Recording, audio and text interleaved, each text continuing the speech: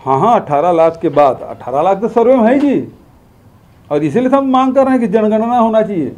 ये 2011 के हिसाब से 18 लाख है। जो आर्थिक सर्वेक्षण हुआ, उसमें 2011 में आया 18 लाख है।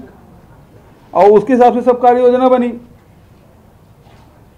हम बहुत सारे राज्यों से बहुत आगे हैं हम लोग, अभी भी।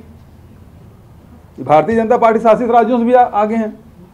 अब जो 18 लाख के बाद और लोग हैं मैं भेंट मुलाकात कार्यक्रम में गया था तो वहाँ लोग बोले, हमको भी मकान चाहिए। क्योंकि 2011 में जो जनगणना हुआ, उस समय जो 10-12 साल के रहे होंगे, आज जो 23 साल के जवान हो गए।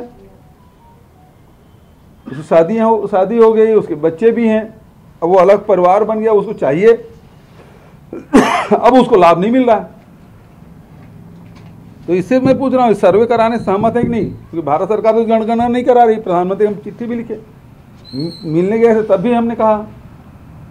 लेकिन अभी तक के भारतीय जनता पार्टी इस मामले में कोई बयान नहीं दिया सदन में पुन्नूलाल मोहरे सहमत हो करके बोले तो अरे एक जने सहमत हुए ना। पार्टी सहमत है क्या? वो एक सदस्य हैं। लेकिन और सदस्यों ने वो नेता प्रतिपक्ष तो थे नहीं वहाँ पे। पार्टी तो अर, उसके अध्यक्ष अरुण साहू जी हैं।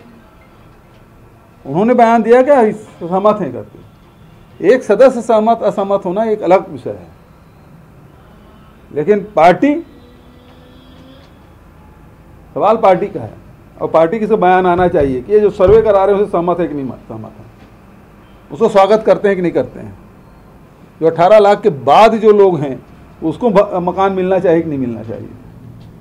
महत्वपूर्ण बात यह है। भारत जोड़ो यात्रा के भारतीय जनता पार्टी कैसे झूठ कमाल खड़ा करती है? एक उदाहरण मैंने आवास के मामले में दिया। तो ये बरगलाने का काम लगातार इनकी आदत ही है भारतीय जनता पार्टी की। अभी जैसे रमन सिंह जी आवास के मामले में बोले, सोलह लाख है। मैंने कहा, सर, आंकड़े दे तू मुझे।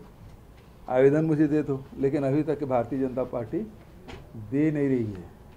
क्योंकि ये कलई खुल जाएगी।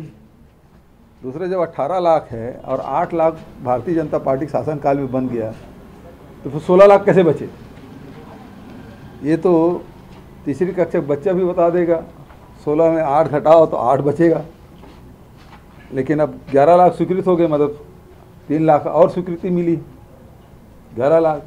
अब सात लाख के लिए हम लोगों ने इस बजट में अभी परसों ही जो पंचायत मंत्री के अनुदान मांग में बत्तीस सौ करोड़ रुपया रख दिया है। तो वो भी पूरा हो जाएगा। तो सोलह लाख कहाँ बचे? केवल गुमराह करने का काम इनका है।